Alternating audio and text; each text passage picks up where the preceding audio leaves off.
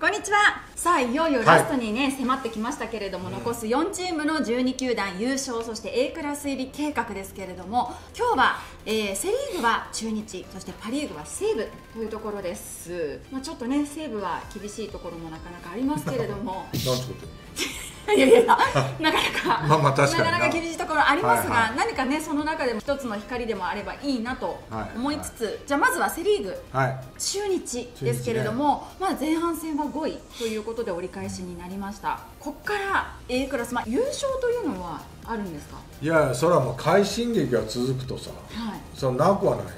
うん、なくはない何笑っていや笑ってないです。いやいやいやいやでそれはも笑いしてる。団子なのでそれはありますよねもちろん。いやただね俺は優勝するには、メンバーをしっかりさせるということはい、だよねで1番誰なのか。うん。1番カリステなのか。うん、2番大島なのか。はい。俺は大島が一番いいと思いいですよね。いやうん。いいですよ絶対。ういや本当に、うん。で3番福永なのか。はい。4番細川なのか。うん中田なのか。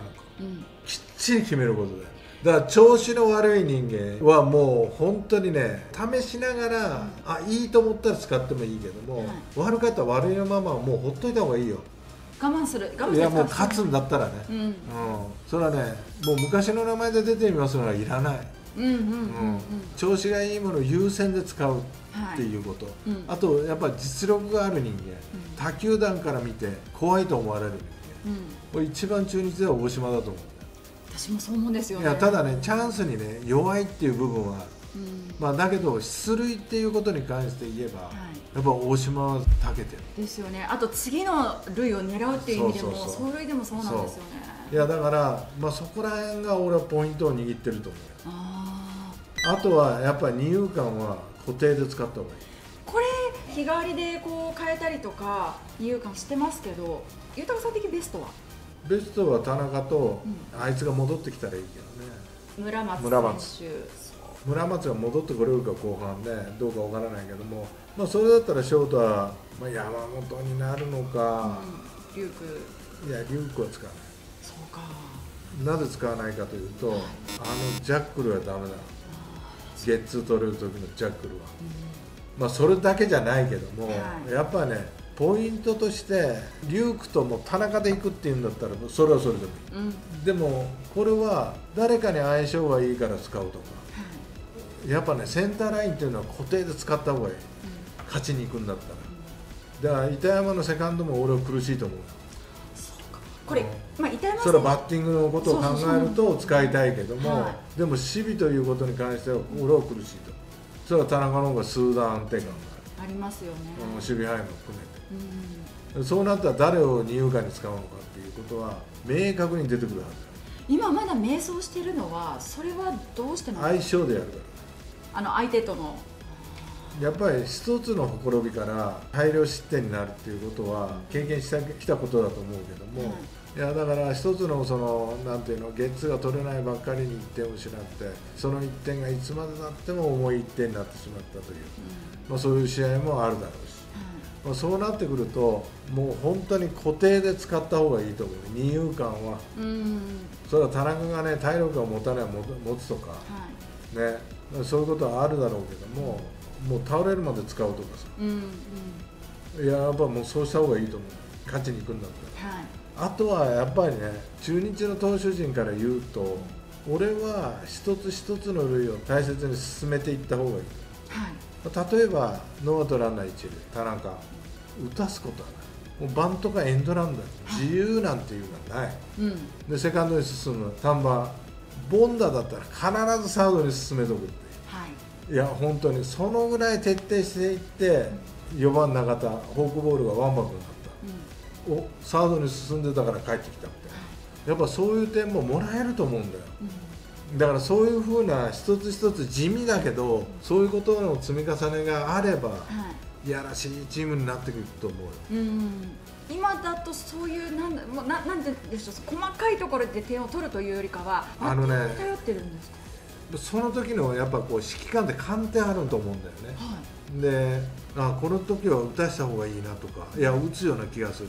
そしたら打たすよね。はいそうじゃなくてやっぱ相手が嫌がることをやった方が俺はいいと思う。うん自分の勘ではなくて相手がどう思ってどう嫌なことなんだろうって、まあ、例えばその田中に自由打たしてゲッツー。相手からするとえ？いいのかみたいな。いやありがたいって思っちゃいます、ありがたいよね。はい。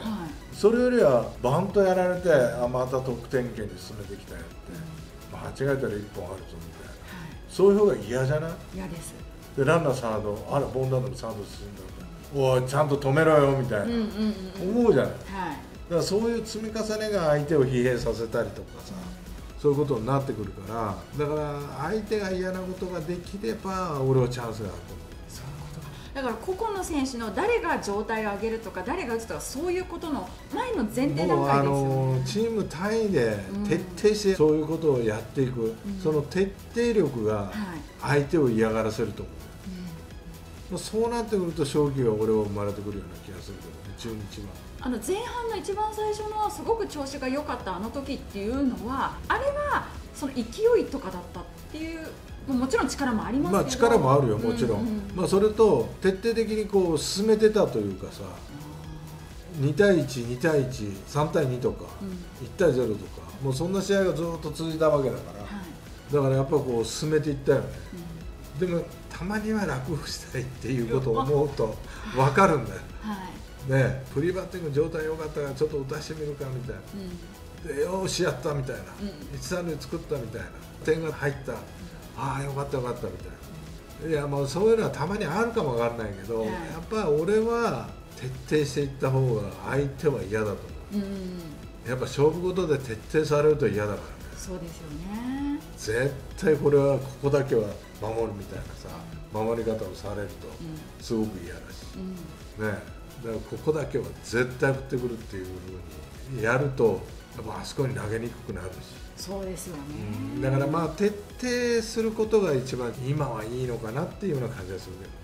あとは例えばサードとか石川昂弥選手、まあ、い今は下ですけどあと高橋周平選手であったりとか福永選手とかいろいろポジションがかぶったりとかっていうのはあると思うんですけどそのあたりって後半戦っていうのを打てるバッターたちをこうどういかにこのポジションかぶってる人たちをいやだから徹底できる人間を使うともう固定でそこは、いう。いやお俺がもしそうしたらね、うん。徹底できる人間。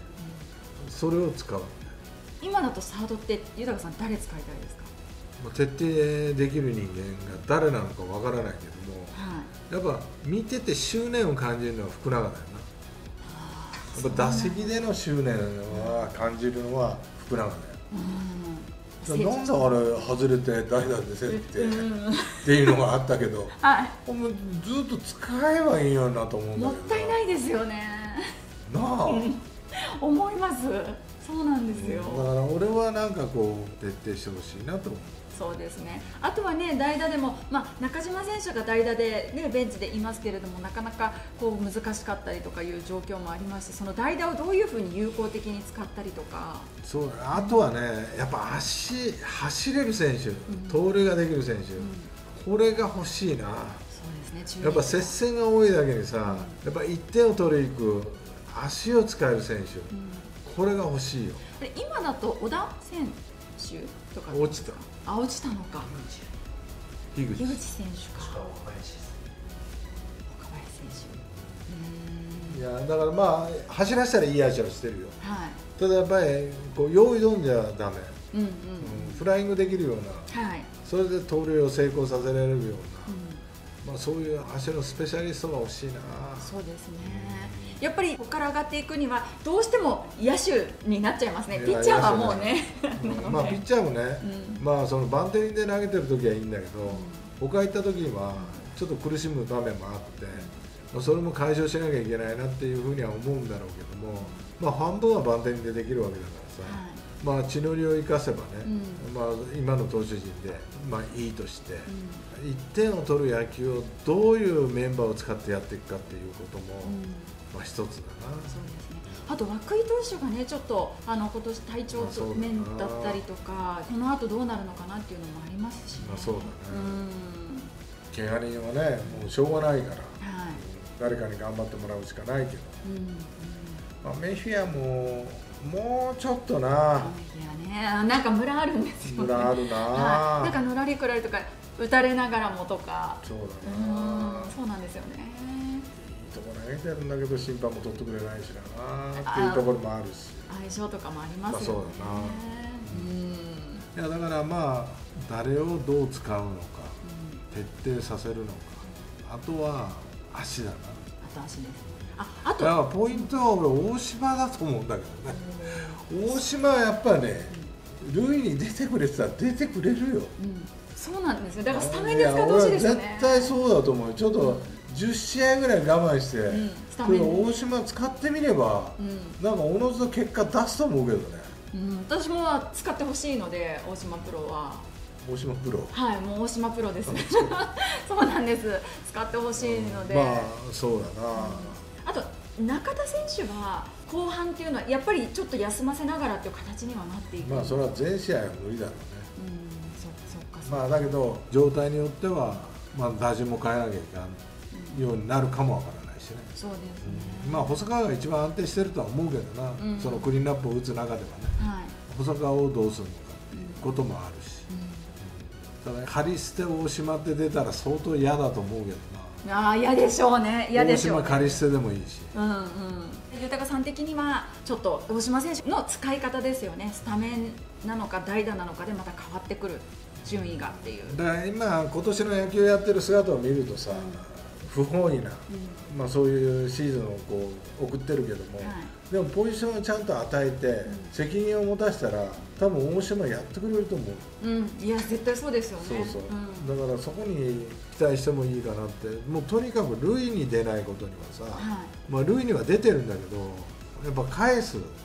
人たちはもう何回も塁にいるような状況を作ってあげないと、はい。9イニングなんか1回しかチャンスがなかったんじゃさなかなか点は取れない。から。ですよね、まあ、何回かと作ってくれると思うよ大島カレステが1、2番だと、そうですよね。豊さんカリステはあの上位というか12番が絶対一番安定してるからそ打つのに出ていくのではないですっていうことですよね。にいやもう打てるよ。うん。打てるけどやっぱ塁に出るということになってくると、はい。やっぱカレステ大島っていうのがいいと思うしね、うん。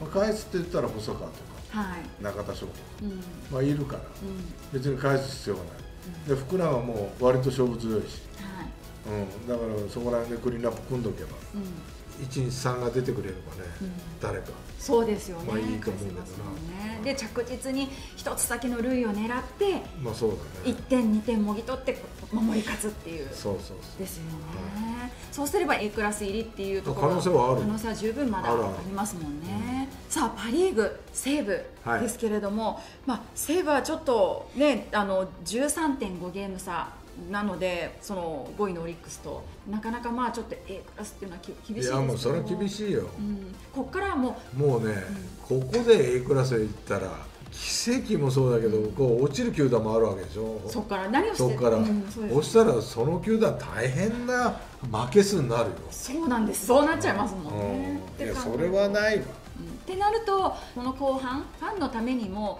どういう姿を見せていくのか。やっぱ来季に光を見れるような、うん。そういう戦い方。まあでもそういうメンバーを配置してきてるけどね、うん。まあ、西川なり山村なり、はい。まあ、そういった人間が、まあ、いいしね、うん、だから、まあ、そうやって見せていくしかないし、まあ、竹内も投手としたらはい。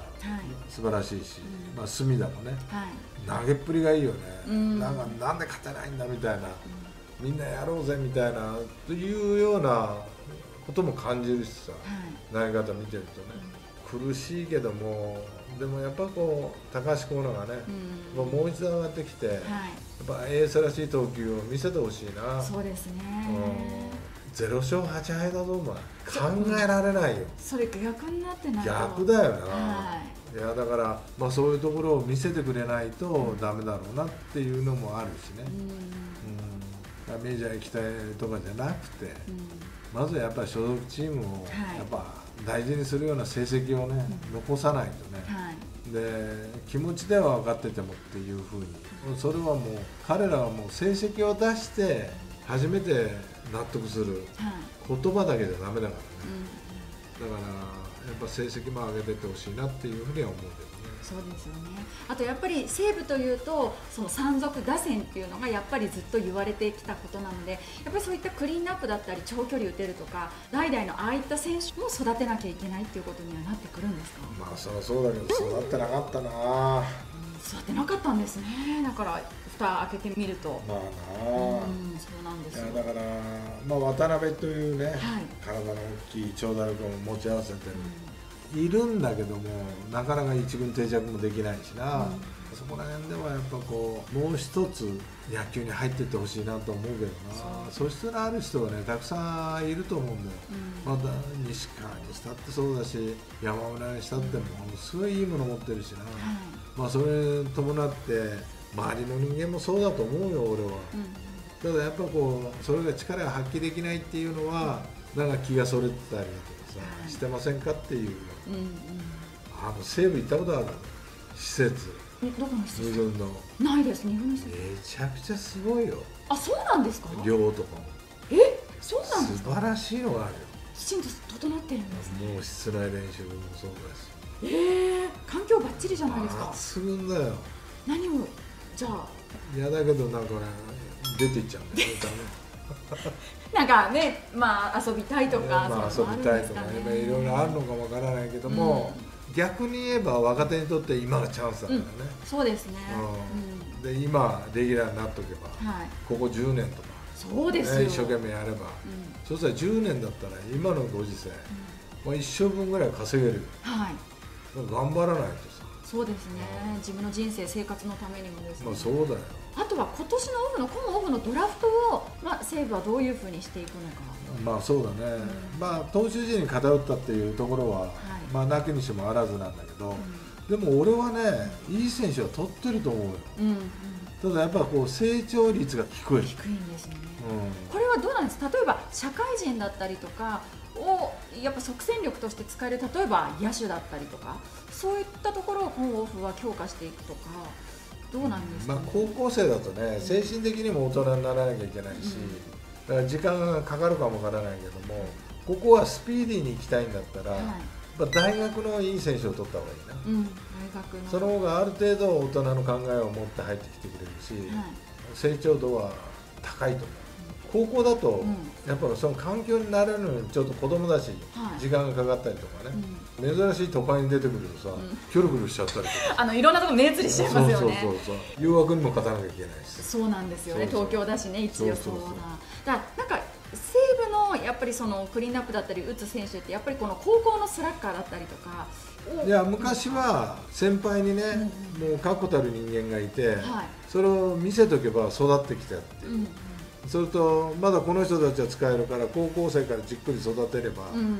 間に合ったっていうふうにあるけどもだから今はもう早く成長させてほしいじゃない。はい。で体もある程度できといたら早いじゃない、でも高校生よりはやっぱ大学生の方がうん体も精神的にもはい大人だし、うん。うんそっちの方が早いんじゃないかっていう。うん。だから去年のドラフトで巨人は社会人ばっかりで取ったじゃない。即戦力で。はい。じゃあ巨人のベンチに何人入ってるかって言ったら結構入ってるでしょ。はい。伊豆口とかそうですね。佐々木とか。はい。ね、そういうのが人間が入ってるじゃん。やっぱりね高校からだとまあ浅野がねうん。巨人の場合ドラフト1位で入ってきてでも出てこれないんだよねまだ、うん。やっぱ体とかももちろんあるしね。だから西武の場合は本当に先をちょっと急がなきゃいけない整えなきゃいけないっていうんだったら社会人だとかはい大学生。うん。まあそういうところからドラフトした方がいいのかなっていうふうには思う。そうですね、まあ、ちょっとね西武だけは今シーズンのというよりかはまあ来シーズンとかこれからの未来に向けてのちょっとこう話にまあまあそうまあそれしかない。まあな。これ優勝って言ったら笑われるからな。あのそうですねそうですねいやいや本当正直言ってな、うん。ただやっぱもう源田がチームリーダーだったら、ん。やっぱもうちょっと存在感出してほしいな、あの引っ張っていくって遠慮しないでな、はい。行こうぜみたいな、うん。まあ、そういうことを出してもいいと思うしね。そうですよね。さあ今日はセ・リーグは中日そしてパ・リーグは西武をお届けしましたがもうラストですね次は、はい。ラスト1チームずつご紹介します、はい